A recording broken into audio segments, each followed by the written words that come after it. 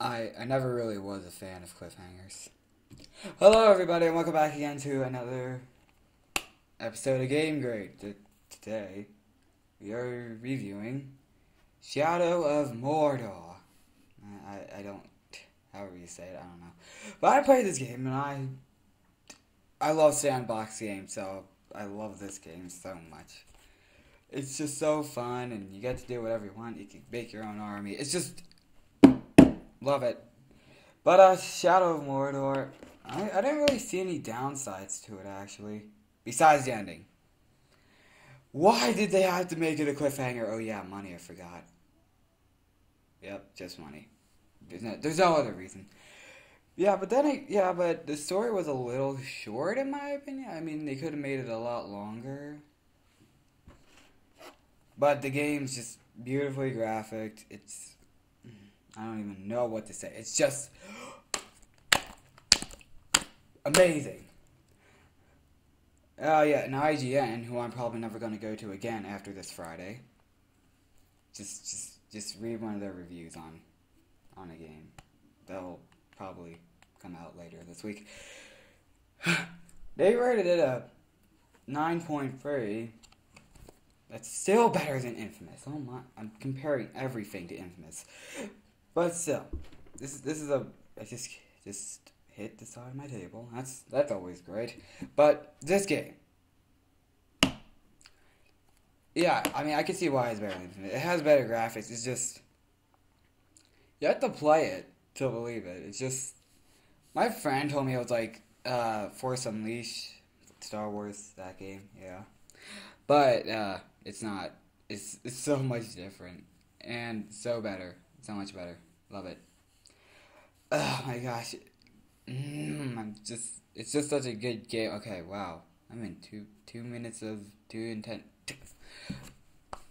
Pardon my voice and no, not voice, speech. Yeah, speech. That's what it is. But yeah, this game is amazing. I love it. Still nine point three.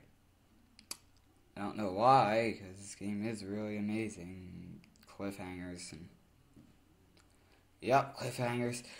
But I love like all the army gen no like generals, war chiefs. I guess that's that's what they're called, chiefs. How you can brand them, control them, make them attack other war chiefs. Oh, it's just so much fun, and you could honestly tell there's been so so much work going into this game.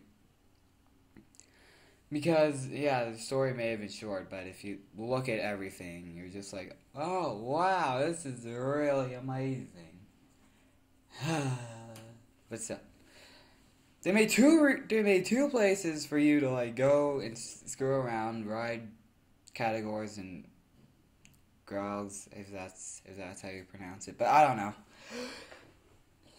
Just make army conquer Mordor and the other. Yeah, it's just Mordor. Oh my god, it's just so fun. I, uh, oh yeah, you can also get. You can also just freaking teleport to kill and kill people. Like it's it's such a fun game. They made they made it over the top. So, huh, what what should I give it? I hate I hate cliffhangers. As you can tell by the intro. But hmm Let's. I will give it like a f- 9.5. I only said 5.5. I, I just be like, what? No, no. 9.5. It's um, it's a really great game, but you know, there's some problems here and there. I mean, I've seen a few glitches that aren't too big or too serious. But, yeah, 9.5. I also hate cliffhangers, so.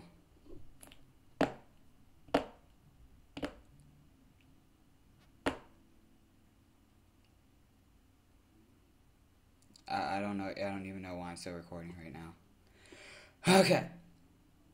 I will see you in uh, next time on Game Grade. I, I don't have a voice modif- modification, sorry. Uh, goodbye.